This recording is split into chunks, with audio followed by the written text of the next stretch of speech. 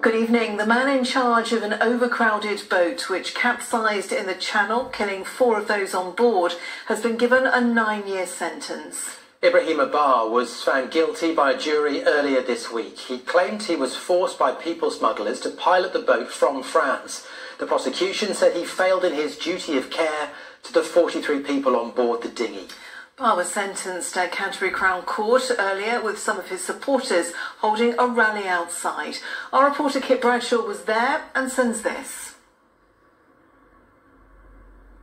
More than 1,100 small boats made the treacherous crossing from France to these shores in 2022.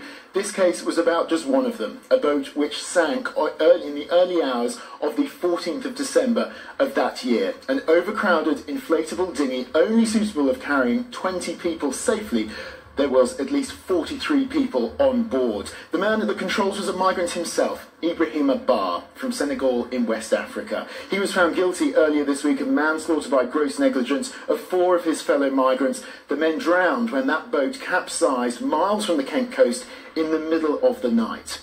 He was sentenced today to nine years, six months detention for those four counts of manslaughter and for a charge of facilitating illegal entry to the UK. The judge, Mr. Justice Johnson, telling him in court, You disregarded a high risk of death. You were the person in control of that boat, and in that sense, you played a leading role in the offending. Now, earlier this week, prosecutors told us that given the nature of what happened that night, the true loss of life may never be known.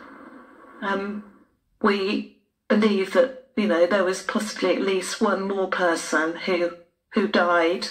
I think it's also incredibly sad that three people remain um, unidentified of the deceased, and that possibly somewhere in the world there's a family that's thinking, how unusual is it that we haven't heard from our loved one? The judge did say in court that the primary responsibility for what happened did not lay with Bah, but with the gang members who procured an unsatisfactory and unsafe vessel. And not everyone was happy about this conviction or today's sentence. The public gallery was packed with supporters who held a rally outside and told us that they felt Bah had been unfairly scapegoated.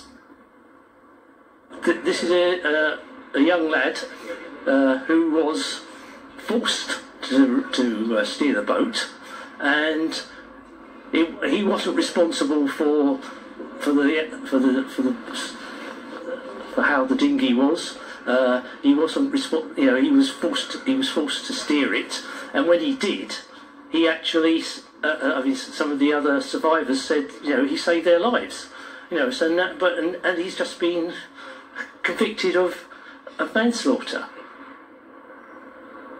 This was a landmark criminal case, the first time a migrant on a small boat has been held culpable for harm caused to fellow passengers. But whatever you feel about the criminal proceedings, this was a human tragedy in which four men trying to seek refuge in the UK paid with their lives. A report by the Marine Accident Investigation Branch will be published in the coming weeks. Kit Bradshaw reporting there. In other news tonight,